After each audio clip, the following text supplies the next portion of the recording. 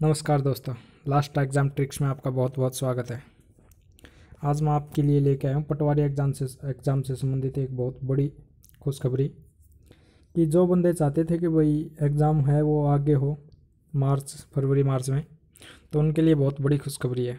तो हमारी वीडियो को लाइक कर देना और जो ये चाहते थे कि भाई एग्ज़ाम दस, सत्रह और चौबीस को हो, वो तो मुझे पक्का बताया कि वो तो अनलाइक करेंगे ही। तो आप लोगों को थोड़ी सी सपोर्ट करना है, लाइक करते रहना। आज पता चल जाएगा भाई कौन ये चाहता था कि भी मार्च में हो या फिर कौन चाहता था अभी जनवरी में हो। तो ये जो खबर है, ये दैनिक भास्कर से निकल के आई है। तो इसमें देखिए क्या है। ये बी एल जटावत का बयान है। इसमें बता रखा है, देखिए, कि अभी हमने पटवार भर्ती की टेंटेटिव डेट जारी की है।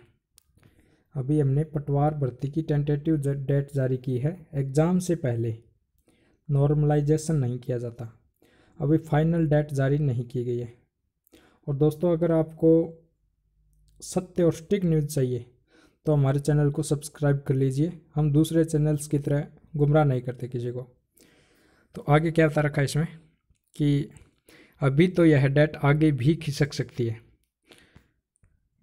अभी तो यह डेट आगे भी खिसक सकती है। ये देखिए, बहुत बड़ी लाइन है ये, कि अभी तो यह डेट आगे भी खिसक सकती है।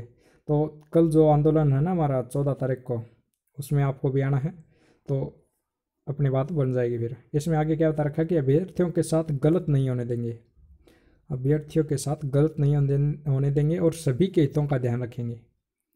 और ये बात बोली है बी एल जाटावत अध्यक्ष, राजस्थान कर्मचारी चयन बोर्ड, जयपुर ने। बहुत बड़ी खबर है और अपने दोस्तों को भेजिए, जो चाहते थे कि भी जनवरी में हो, ना सॉरी जो मार्च में हो तो वीडियो अच्छी लगी हो तो लाइक कर देना और लाइक ही करना भाई। बहुत सत्य और स्टिक न्यूज़ लेके आया हूँ। Thank you